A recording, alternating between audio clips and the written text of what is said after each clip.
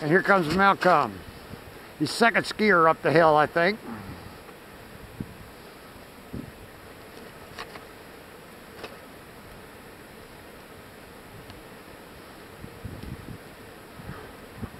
Here he comes. Snowboarder kind of crowding him a little.